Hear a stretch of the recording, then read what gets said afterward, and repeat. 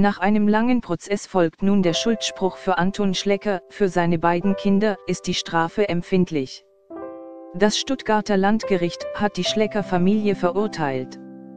Quelle, Julian Stratenschulte, Deutsche Presseagentur Das Stuttgarter Landgericht hat die Schlecker-Kinder, Lars und Maike, zu Freiheitsstrafen verurteilt.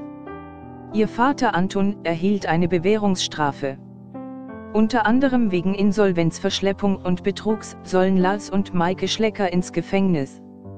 Im Fall von Lars beschlossen die Richter zwei Jahre und neun Monate Haft, im Fall von Maike zwei Jahre und acht Monate.